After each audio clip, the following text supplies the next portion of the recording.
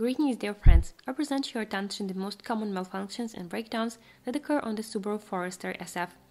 A real Subaru must have four-wheel drive. If you come across front-wheel drive, then this is the acquisition of obvious freaks who want to troll people on Pokatushki. Fortunately, in the USA, the Impreza was sold in the form.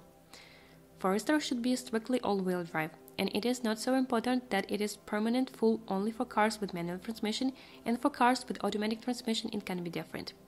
Contrary to popular belief that the automatic transmission relies only on a plug-in four-wheel drive, this is not the case. The TZ automatic transmission series assumes the presence of a plug-in drive, and the TV automatic transmission series assumes a permanent full drive. If you figure it out, the shrink of the boxes is interchangeable, so no one bothers to put a permanent all-wheel drive on the TZ automatic transmission. Such an alteration is quite popular. True, it doesn't give much gain in dynamics, but the car will crawl through mud more confidently and be less afraid of breakdowns. In general, the four-wheel drive elements are very well thought out and well executed. Of course, the CV joint and propeller shaft sometimes require maintenance, but the main attention will have to be paid to the rear gearbox. It can be turned off if the supercharged engine is fully operational, which happens not so often, haha but more often it simply misses the oil level due to the current oil seals, or forget to change this oil, but do not forget to drift in winter. If the rear axle drive clutch wedges, then the chances of a happy life for the rest of the transmission elements are almost zero. With the mechanics in general, everything is fine too. Boxes of the TU series, and even within optional lowering, have established themselves as very reliable. But let's face it, with popular motors and the racers, they do not live so long and happily, and the torque of more than 300 nanometers is very poorly tolerated. If the motor produced 350 400 nanometers, then the box turns into a consumable. However, despite the sports frame, there are not so many really powerful cars in this population. With automatic transmission, everything is a little more complicated. Despite the apparent choice in the form of automatic machines on the TZ and TV series in four different versions, there is in fact one box here. On cars until 1998, you can find its early version R4AXEL, aka TZ1A3ZSAAA. Later, they put a seriously modified box of the 4EAT series, different mainly in hydraulics and electronics. This box has a very respectable age. Subaru put it in from 1988 to 2011. Of course, the design has been worked out to the smallest detail, and this is one of the most reliable automatic machines in the world. The secret of success lies in a separate, replaceable external fine filter, spin on like a motor, in a sophisticated cooling system and carefully thought out operating modes. Electric simply doesn't allow this box to be tortured. True, Subaru with automatic transmission is very thoughtful and fuel consumption smoothly goes beyond the level of 16-18 liters per 100 in the city, but you can burn without fear for the health of the automatic transmission and there will be no difficulties on a long journey. Here, even the valve body solenoids are collapsible, and in case of contamination, they can simply be cleaned. Of course, we have enough unique ones who have finished off such a reliable automatic transmission. Most often, we are talking about the wear of the blocking linings of the gas turbine engine to the adhesive layer with contamination of all filters that someone didn't want to change in time. Further, a drop in pressure begins due to contamination of the valve body and serious mechanical problems. The rear hub bearings and low clutch drum are also potential replacement for racers. With proper operation with runs of 250 350,000, the blocking pad for the gas turbine engine will need to be replaced, while it is worth changing the rubber seals of the box, pistons, and the line pressure solenoid assembly. After these procedures, the box will pass the same amount. Of course, the oil must be changed at least once every 40-50,000 kilometers, and the automatic transmission keeps the engine torque even better than the mechanics. Anyway, 450 nanometers is not too much of a problem for it, unless you additionally have to take care of cooling and change the oil more often along with the linings of the gas turbine engine. It is believed that the opposed with a low center of gravity is the top of the design idea and a very reliable unit. Not at all. A strange design in which sometimes there are four camshafts for four cylinders, it is striking in size, complexity of repair, specific layout, and low resource. In addition, the quality of the cooling system components is below any criticism. Radiators flow the seams, pipes require mandatory replacement at the age of 10, fans simply die by that age. And everything is not so cheap, which is why these parts are often changed for very conditionally suitable elements from shutdowns. The exhaust system is also not happy. The exhaust rots just like on Zhiguli, and if the car is more than 10 12 years old, The most likely the entire system has already been replaced a couple of times or thoroughly welded. To top it off, the EJ20 engines in different versions could have very different control systems and attachments, and given the style of service, frequent replacement of units, and other Subaru nuances, this can become a serious headache for the owner. It is not uncommon for another Forester owner to ask experienced pros, Tell me what kind of motor I have. The main engine options are the EJ202 and AG220J, with two camshafts and natural aspirated. The EJ205 is a turbocharged 4 camshaft and has several power options. And finally, the EJ251 with the 2 camshafts and naturally aspirated, but with a volume of 2.5 liters.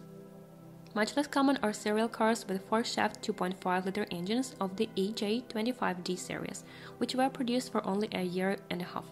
There are still hills of other exotic options, but it is almost unrealistic to meet them. Of course, all engines are boxer. The timing belt is driven by a belt and injection is electronic. The supercharged version with a small MHI TF of 35 turbine, while the more powerful versions already have a compatible MHI TD04 or even TD05. To replace the spark plugs, the motor doesn't need to be removed. These are bikes. True, the operation is not as simple as on a normal car. You have to remove the intake, air filter, washer, reservoir, and battery. And only then, with the help of the great and mighty ratchet, candle wrench, and cardan for a singular overhead cam motor, the candles can be replaced. There are no hatches in the wings, the spars still interfere. Forester is not your legacy. Natural aspirated engines 2.0 SOHC can be called the most resourceful. In any case, the problem of knocking the four cylinder only happens on them with runs of 150 to 150,000 kilometers, and the engine can pass all 300 400,000 before being repaired. The notorious knock is a characteristic sound when working on the cold one, which, having appeared, gradually progresses and begins to manifest itself in a warm state. The story of the knocking engine ends usually with a drop in compression in the four cylinder or burnout of the piston. An autopsy most often shows almost a whole horn, but at the same time a solid ellipse in the sleeve. It is better to replace the old pump with the so-called 11 mm after a run of 100-150,000 km. The thickness of the gears of the standard pump is 10 mm and the thickness of the STI pump is 12 mm. So at a minimum, polishing and replacement of the cover and gears with the minimum clearances will be required. In addition to the appearance of ellipticity in the fourth cylinder due to miscalculation in the liner design and overheating, the owners risk getting the liners to rotate due to the missed oil level and high load on the liners. Subaru engines have a complicated relationship with oil. They do not like low viscosity oils, and SAE40 or even SAE50 is considered the optimal value for running motors. Secondly, the oil level is critical for them. The volume of the crankcase is small, and if there is not enough oil, then it is easy to grab oil starvation and cracking the liners when cornering. But if you pour more than a liter and a half, then the engine can unexpectedly give out a solid puff of smoke in a turn, and along the way, ruin the catalyst and get a portion of carbon deposits on the rings. And the motor also likes to squeeze out the oil seals when overflowing, and oil baths are also not useful for pistons. And yet, when driving on asphalt ring roads, it is better to take chance and pour too much than get up with the liner turned. Another weak point of boxer motors is the long timing belt with a complex tensioning system. Any damage to the rollers or failure of the tensioner will lead to phase drift. On SOHC motors, there is limited about the crankshaft gear. There is a limiter about the crankshaft gear which prevents the belt from jumping over and breaking off its loosens. If it loosens, it is better to take it off, then the weakened belt has a chance not to break. True, the risk of the remnants of the drive belt getting under the timing belt increases. The OHC motors need, need a limiter. They do not tolerate phase jump well. You can even bend the valves and not on the piston, but simply on another valve. By the way, in case of an accident, the timing mechanism is damaged easily and naturally. You do not even need a strong blow. It is enough to fly into the fence, or one unsuccessful caught picket will knock out the motor tightly. In addition to these difficulties, there were also regular leaks of gaskets, and due to the peculiarities of the layout of motor, the engine will have to be removed to eliminate them. And an attempt to get off with work on site is fraught with the ingress of large portions of dirt into the motor. The leaks mask the engine's oil appetite, which can progress very quickly. It is enough to warm up the engine once with an unsuccessful oil. And how the motor is disassembled and capitalized cannot be told here. You will have to put an 18 plus badge or close access to children. Believe me, the process is very intimate and confusing. Engines with a volume of 2.5 liters are noticeably more sensitive to the correct operation of the cooling system, and the EJ25D motor was generally discontinued due to overheating of the fourth cylinder for no particular reason. True, they learned to solve the problem by installing an improved pump and an organizer of flows in the block, but if the master has a chance to make a mistake, he will make it. If the motor also has a turbine, then even more so it is a motor with a DOHC head, then be strong and do not be discouraged. Knock can be expected after 70,000 run, so overhauls will be a frequent occurrence. Usually such motors do not run without repair for more than 100-150,000 kilometers. The load on the liners is higher, so the chances of lifting the crankshaft are also much higher. The control system is characterized by capriciousness and a variety of options. Detonation is a common occurrence in EJ205 engines. A higher heat load threatens the integrity of not only radiators and pipes but also the cylinder head gasket. There were cases when a piece of gasket was blown out due to local overheating under load and the leak opened. But there is no need to be afraid of the turbines. All regular ones are very inexpensive and they serve for a long time. But the supercharging control system on Subaru is strikingly flawed. There is no normal regulation, everything is at the level of 80s. One valve, not too reliable, Pierburg 700 32.6.03.0, and the need for preload adjustment. The bypass is usually connected incorrectly and operates roughly. The work of the ECU is not distinguished by its elegance either. And do not forget that there are versions of the motor with a conventional mechanical choke. As a result, there is frequent detonation and great chances to disable the engine even before the small resource that it should have. Enough about the magic opposite. Nothing good can be said about it.